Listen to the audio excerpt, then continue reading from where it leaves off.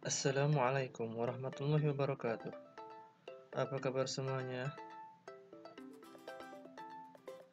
Kali ini ada berita terbaru. Pemerintah Arab Saudi akan kembali mengizinkan sholat Jumat dan semua kegiatan sholat lainnya di masjid-masjid di seluruh negeri kecuali di Mekah mulai tanggal 31 Mei dan lockdown telah dibuka di negara Arab Saudi ini. Mulai dari e, berbagai kegiatan ya. Ada kegiatan-kegiatan seperti ibadah kemudian dalam e, bisnis mall sudah dibuka dan e, logistik kemudian toko-toko kesehatan.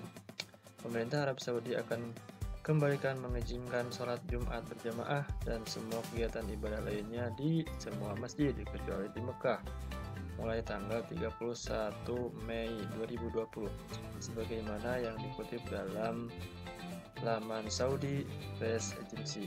Kementerian Urusan Islam Dakwah dan Penyuluhan Arab Saudi menegaskan perlunya semua masjid mematuhi protokol kesehatan yang telah ditetapkan kerajaan tersebut, Menteri Urusan Islam, Dakwah dan Penyuluhan Syekh Dr. Abdul Latif bin Abdul Aziz Al-Sheikh telah mengeluarkan dua surat edaran terkait itu.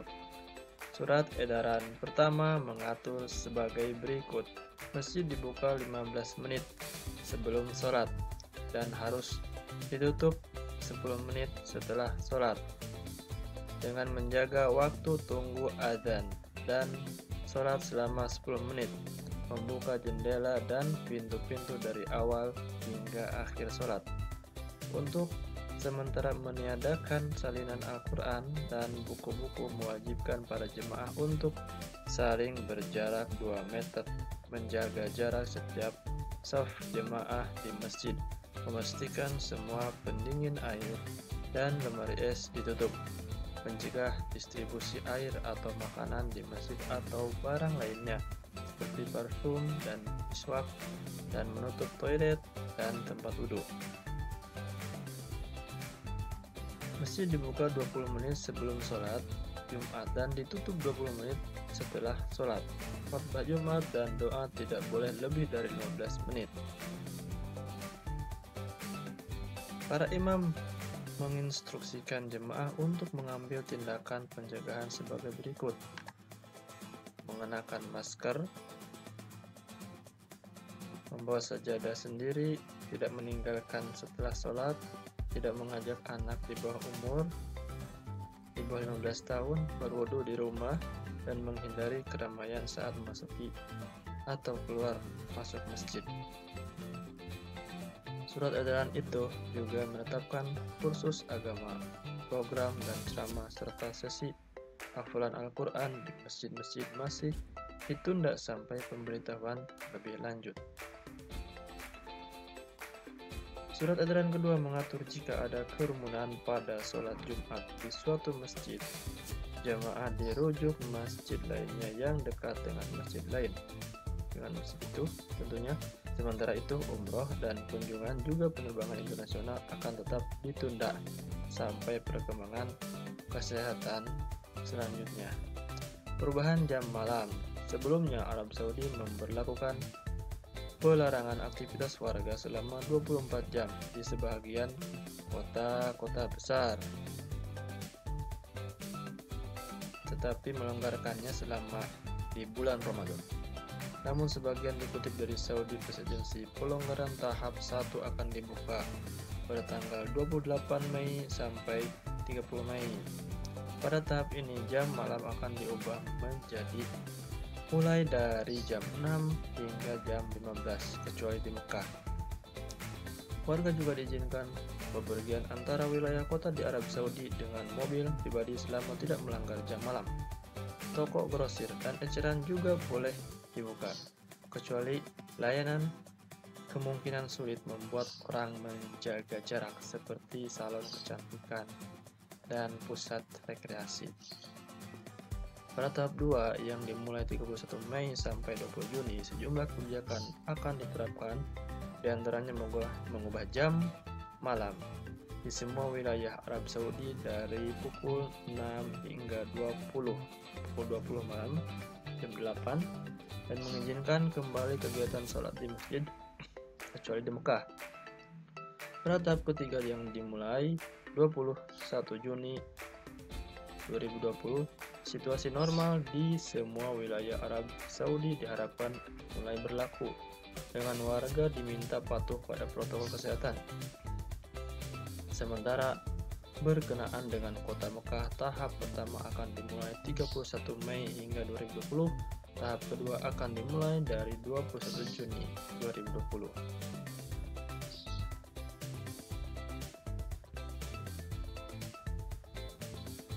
mulai dilonggarkannya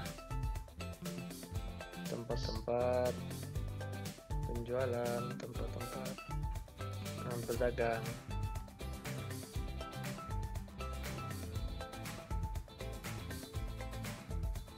Kembali akan membuka pemerintah Arab Saudi seluruh masjid ya Keputusan ini diambil setelah pihak kerajaan Saudi melonggarkan lockdown untuk mengekang penyebaran virus corona COVID-19. Arab Saudi mengumumkan tiga fase pelonggaran lockdown yang berpuncak pencabutan jam malam. Fase pertama akan dibuka 28 Mei, di mana jam malam dikurangi menjadi 15 jam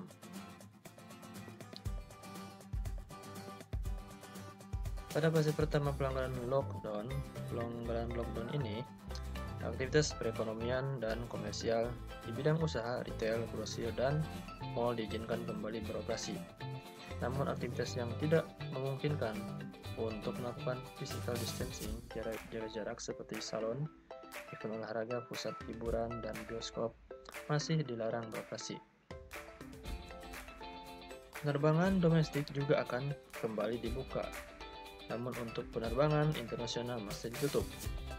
Sedangkan untuk kegiatan ibadah di Masjid Pemerintah Arab Saudi baru akan membuka seluruh masjid di luar Mekah mulai 31 Mei 2020.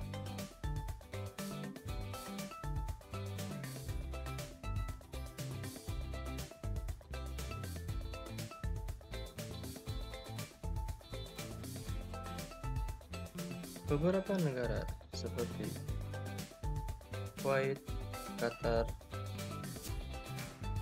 Dubai, Uni Emirat Arab ya itu sudah mulai open lockdown.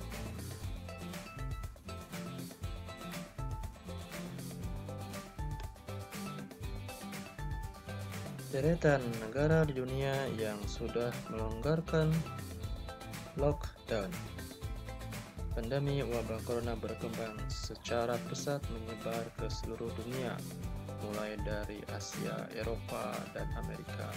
Pandemi memunculkan opsi lockdown yang diterapkan sejumlah negara untuk menghentikan penyebaran virus corona tersebut. Meskipun dengan mengkarantina wilayah dinilai mampu menekan jumlah kasus, namun dampak lainnya juga dirasakan yakni dalam sisi ekonomi dan lainnya. Beberapa negara dikabarkan sudah menjalani lockdown satu bulan bahkan lebih. Namun kini beberapa negara tersebut sudah mulai melonggarkan lockdown setelah dirasa jumlah kasus menurun. Berikut negara-negara mulai perlahan membuka lockdown dan memulai sektor bisnis kembali. Yang pertama, Cina. Sebelumnya, Cina kalah kalang kabut dalam menyelesaikan kasus virus corona di negaranya. Namun, dengan menerapkan kebijakan lockdown mulai awal tahun 2020 dan membuahkan hasil menekan penyebaran virus corona. Kebijakan lockdown di Cina mulai dilonggarkan sejak 25 Maret lalu. Tapi ibu kota Provinsi Hubei Wuhan tidak dilakukan pencabutan lockdown. Kemudian dengan total mencabut kebijakan tersebut pada 8 April Kendati begitu, warga Hubei harus menunjukkan kode kesehatan yang menunjukkan indikator warna hijau di telepon pintar mereka.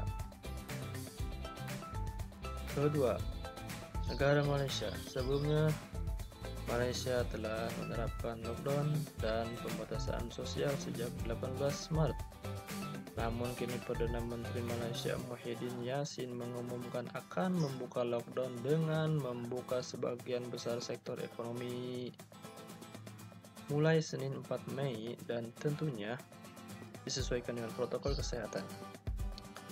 Pelonggaran lockdown itu tak lain agar Malaysia tidak mengalami kerugian lagi. Apabila lockdown diperpanjang, maka besar kemungkinan Malaysia akan mengalami kerugian mencapai 35 miliar ringgit Malaysia setara 124 triliun. Yang sebelumnya 8 triliun. Kendati begitu Muhyiddin mengatakan bisnis industri yang melibatkan banyak orang seperti bioskop, ruang karaoke, pusat refleksiologi, klub malam, pasar Ramadan, pasar raya hari Idul Fitri, karnaval penjualan, serta semua konferensi dan pameran masih akan ditutup. Sementara ia mengizinkan untuk kegiatan di luar ruangan seperti bulu tangkis, tenis, bersepeda golf, dan lari dalam kelompok kecil dengan tidak lebih dari 10 orang.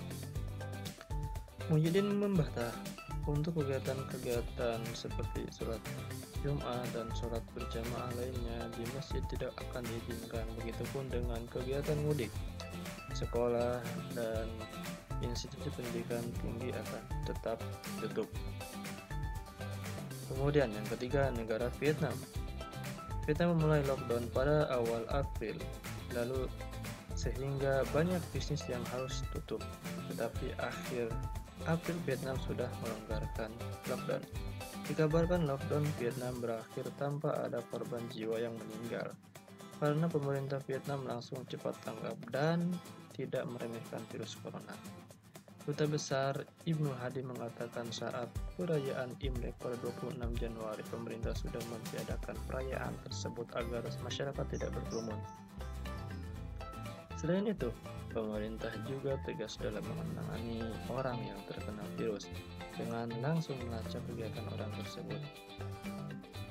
Selain itu, pemerintahnya praktis tidak banyak melalui perdebatan dalam memutuskan sesuatu, jadi lebih cepat tanggap serta dukung oleh rakyatnya yang tertib dan patuh menerapkan social distancing. Oleh karena itu, pemerintah Vietnam melonggarkan lockdown. Keempat, Amerika Serikat. Meskipun di Amerika Serikat jumlah kasus virus corona tertinggi yakni tembus 1 juta kasus lebih, namun Presiden Amerika eh, Donald Trump mengatakan untuk mencabut aturan lockdown secara nasional. Pelonggaran lockdown itu bertujuan untuk membuka kembali jalannya ekonomi Amerika Serikat yang sebagian besar telah ditutup. Pelonggaran lockdown itu sudah dimulai awal Mei Mulanya Trump menyuruhkan lockdown pertengahan Maret dan berakhir pada 30 April. Kendati begitu, keputusan Trump banyak menimbulkan reaksi. Pencabutan lockdown itu ditentang oleh para gubernur dan pakar hukum. Kemudian negara yang kelima, negara Swiss. Sebelumnya menerapkan lockdown sejak 19 Maret dan kini Swiss melonggarkan lockdown dimulai 27 April yang dengan membolehkan dibukanya kembali jasa layanan seperti salon kecantikan, bekas rambut, hingga taman kota serta beberapa sektor bisnis seperti makanan diizinkan kembali namun dengan tetap menerapkan social distancing. Kemudian negara selanjutnya Jerman. Nah, pemerintah Jerman mengumumkan kelonggaran tersebut pada pertengahan April lalu dengan mengizinkan toko kecil untuk buka kembali namun untuk kunjungan-kunjungan masih dilarang hingga 14 Juni 2020 kemudian negara yang ketujuh Ceko pemerintah Ceko melonggarkan kebijakan lockdown pada 20 April sampai 8 Juni dengan membuka sektor pasar dan bisnis. Kemudian negara selanjutnya itu Selandia Baru. Selandia Baru secara bertahap melonggarkan lockdown yang telah berjalan sejak awal Maret lalu. Kemudian negara yang ke-9 itu Austria memulai lockdown pada 6 Maret dan kini melonggarkan lockdown tersebut mulai 14 April dengan membuka toko-toko. 10 itu Australia, pemerintah Australia memutuskan untuk melonggarkan lockdown pada akhir April. Hal itu dikarenakan menurunnya jumlah kasus yang terinfeksi virus corona. Kemudian 11 di Prancis, Prancis menerapkan lockdown hampir 2 bulan, yakni dimulai Maret dan rencananya pemerintah Prancis akan melonggarkan eh, lockdown. Dan akhirnya setelah itu eh, pemerintah tetap mengimbau masyarakat tetap memakai masker. 12. Itu negara Inggris mulai menerapkan lockdown sejak 23 Maret dan Perdana Menteri Inggris Boris Johnson memutuskan untuk melonggarkan lockdown namun sebagian warga Inggris memilih untuk tetap memperlakukan lockdown mandiri karena masih was-was dengan penularan. Ke-13, negara Italia. Pemerintah Italia memperlakukan lockdown secara nasional sejak 10 Maret dan pada 4 Mei sudah melonggarkan kebijakan lockdown dengan membuka ber berbagai bisnis. Namun tetap memperlakukan aturan ketat bagi warga yang akan kembali bekerja di kantor dan perjalanan antar wilayah dibolehkan. Kemudian negara selanjutnya itu India, kemudian Afrika Selatan menerapkan kebijakan lockdown sejak 27 Maret. Melonggarkan lockdown dimulai sejak 30 April. Kemudian negara Nigeria. Negara Nigeria menerapkan lockdown sejak 30 Maret. Yang pemerintah Nigeria akan melonggarkan kebijakan lockdown di tiga kota besar. Itu kota Lagos, Abuja, dan Pun. Kemudian Mesir, Mesir melakukan lockdown sejak 15 Maret dengan menutup bandara, sekolah, universitas, dan gym. Namun menyambut Ramadan, kebijakan lockdown dilonggarkan Perdana Menteri Mustafa Madbuli mengatakan bahwa untuk kegiatan bisnis akan diizinkan untuk beroperasi kembali dengan mengembangkan menyeimbangkan ya operasi jam lockdown. Kendati begitu, kegiatan keagamaan masih dilarang dan masjid masih ditutup. Kemudian negara Spanyol, negara Spanyol berlangsung lockdown 14 Maret sampai 25 April. Kemudian negara Denmark, pemerintah Denmark melonggarkan kebijakan lockdown secara bertahap. Akan dibuka setelah dibuka ya 10 Mei. Kemudian Norwegia melonggarkan lockdown 27 April lalu. Dan negara-negara lainnya.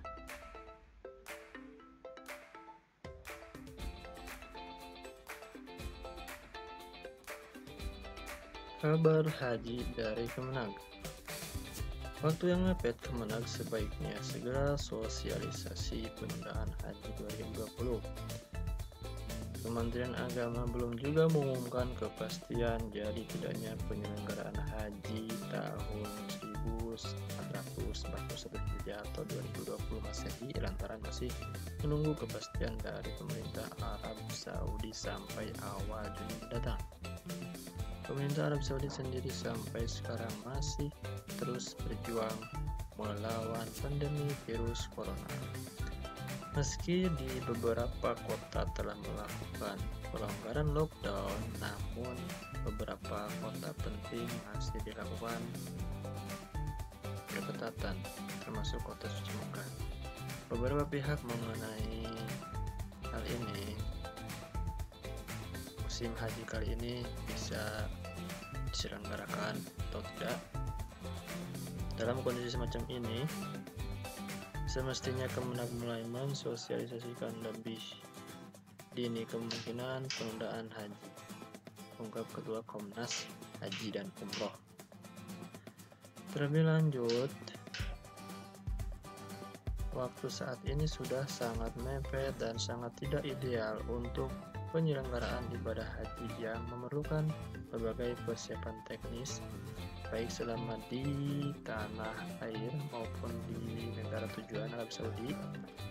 Semakin lama keputusan penundaan tidak segera diumumkan, maka semakin tidak kondusif bagi penyelenggara maupun jemaah.